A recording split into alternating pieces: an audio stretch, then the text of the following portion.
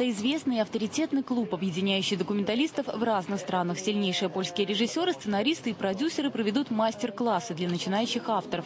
Именитым белорусским режиссерам форум интересен новыми контактами, обсуждением перспективных проектов и идей. Кстати, участие в форуме в качестве наблюдателей могут принять все желающие. Мене цікавить документальне кіно теж е, цікавить, е, давно цікавить літературу, наприклад. Це чоловічі сюжети, це е, чоловічі взаємоотносини. Причому іменно він специфічно, що це люди не актери, і це вельми важливо.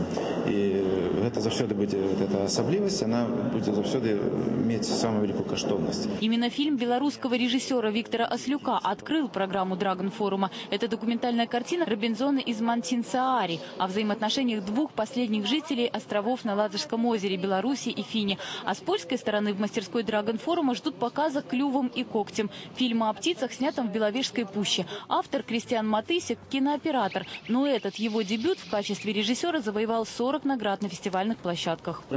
Это важно, потому что у нас с вами одинаковые широты, природа, а значит возможности. Белорусские документалисты сейчас снимают поэтичное кино, и, наверное, это правильно, хотя оно медленное. А современный зритель привык к скорости, к эффектам. И тем не менее мы будем говорить о том, как создать кино, которое будет интересно всем, но и будет трогать душу. Глубокое кино.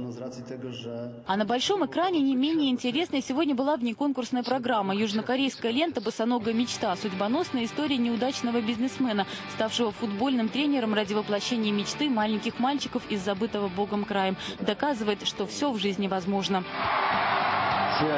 Неоднозначную реакцию у европейской публики вызвал французский фильм «Сорванец». История о девочке, притворившейся мальчиком. История морально и аморально одновременно. Его показ только что завершился в Минске. Кстати, у столичной публики есть еще возможность увидеть легендарную ретроспективу нидерландского режиссера Йоса Стейлинга. В кинотеатре «Победа» через полчаса начнется фильм «Рембрандт» под занавес дня специально для киногурманов. Юлия Златковская, Николай Шашков, ОНТ.